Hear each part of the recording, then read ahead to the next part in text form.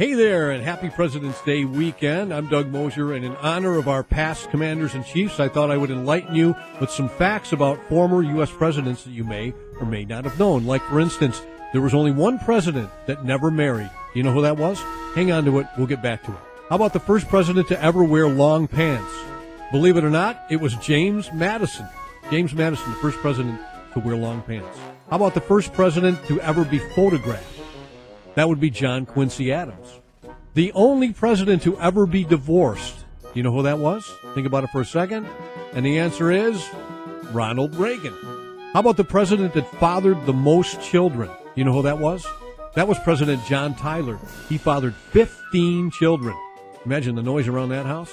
How about our heaviest president and the one that gained the most weight? Yeah, if you said William Taft, you were absolutely right. He gained 50 pounds while in office, but ironically, he lost 75 pounds the year he left office. How about the president that played the most musical instruments? You're not going to believe this one. Are you ready?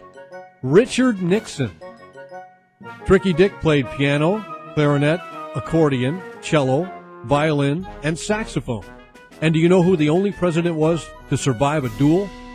That would have been Andrew Jackson. He actually carried a bullet lodged in his chest for 40 years. How about the first president to write his own email?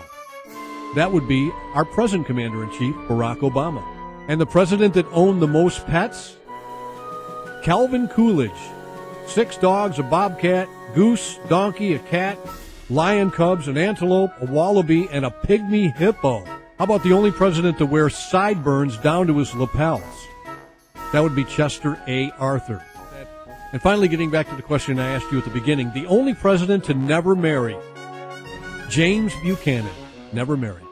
Not that there's anything wrong with that. And now that we've enlightened you, happy President's Day from all of us here at the Whale.